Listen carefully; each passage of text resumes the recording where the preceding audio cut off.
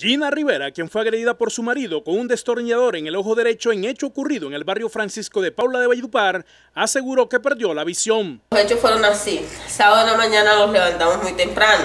Yo salía de mi abuelo un rato, él se quedó ahí, luego yo regresé, lo encontré ahí, me puse a hacer desayuno. Al rato llegó una prima, hija de una tía, hermana de mi mamá, a empeñar una moto, como ya lo dije en la primera denuncia.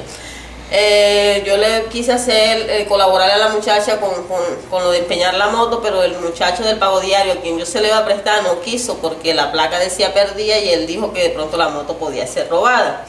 Yo le dije que ya no podía hacer más nada por ella y ella se fue. Como a la media hora volvió y trajo la moto y se la trajo al compañero o a mi compañero sentimental. Yo le dije a ella, vaya con él, acompáñelo porque usted es la dueña y él es apenas el intermediario quien le va a hacer el favor para que usted sepa dónde está la moto y por cuánto la va a empeñar. Ella no me quiso prestar atención y él se fue solo. La empeñó enseguida a la vuelta y le trajo los 130. Como yo le vi más dinero, le pregunté por cuánto la había empeñado, pero él se forfuró, se molestó, yo enseguida deduje que la había empeñado por más Fui hasta donde ah, me lo mandaron a, una, poner una luz, a buscar para, poner una luz, como él pone luz también. Y se fue a poner la luz, cuando él se fue a poner la luz, yo me fui averiguando el señor a la vuelta, pero casualmente nunca me imaginé que la luz la estaba poniendo, era él allá mismo donde había empeñado la moto. Ahí se bajó del poste y em, empezamos a discutir en la calle. Él dijo, vamos a la casa. Fuimos a la casa y ahí empezamos a discutir, pero bueno, él estaba más alterado que yo, yo estaba tranquila, yo solo le decía que porque era tan abusivo, si mi prima le había dado un celular tan pequeñito por el favor, él no tenía por qué empeñar la moto por más. Entonces él me empezó a maltratar palabras, yo se las devolvía y en una de esas él se, se, inclinó a la mesita de noche, yo estaba sentada al lado de la cama, recostada a la, a la cabecera de la cama, se inclinó en la mesa de noche y agarró yo, yo supongo que fue el destornillador, porque no como dijo el CTI o la fiscalía pronto que había sido, pudo haber sido un cuchillo un machete, no, porque no había eso en el momento. Lo que él tenía en las manos eran destornilladores porque estaba poniendo la luz.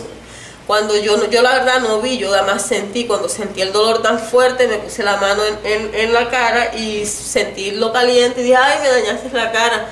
Ya él cuando me ve la cara como que se asombra de lo que me ve en el ojo y corre y busca al vecino de al lado, el flaco, flaco, vamos a llevarla a los 400. Me llevó, allá le dijo a los doctores que yo me había hecho esto con el bordillo de la cama. Cuando la doctora me preguntó, yo le dije que eso me lo había hecho él. La doctora lo mandó a buscar inmediatamente con los vigilantes, pero ya él se había ido en una moto. Se voló enseguida, inmediatamente. Médico el oftalmólogo el día que me, que me trajeron el sábado, el oftalmólogo dijo que la visión del ojo la perdí.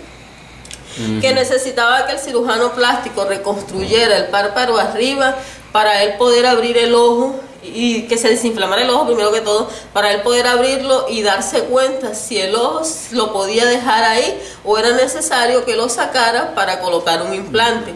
Hasta el momento, antes de ayer, el domingo, fue intervenida quirúrgicamente por el cirujano plástico, quien hizo un excelente trabajo, gracias a Dios me reconstruyó el párpado, eso quedó ahí perfecto.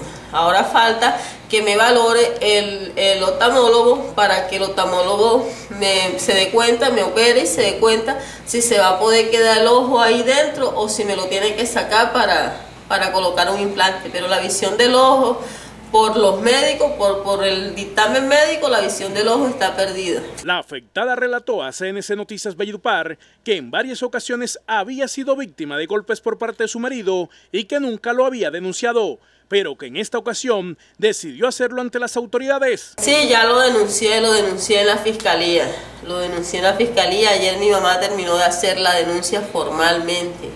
Estoy esperando mejorarme un poquito para recibir la, la, valoración de medicina legal. La fémina que se recupera en un centro asistencial de Valledupar dice que desea que su marido sea capturado por lo que le hizo. Pues siempre lo había pensado, pero nunca lo había puesto en práctica. Pero sí quiero decirle a las mujeres que sufren de maltrato que no hay que soportar el maltrato a un hombre ni por techo, ni por comida, ni porque no haya apoyo, ni por nada. Porque ahora que yo estoy en esta situación, pienso que hubiese preferido diez mil veces dormir en la calle, como muchas veces me tocó dormir en la calle, en cualquier parque, en cualquier lugar, y no dormir con una persona que uno no sabe si lo puede matar, porque yo estaba sentada cuando este tipo me, me agredió.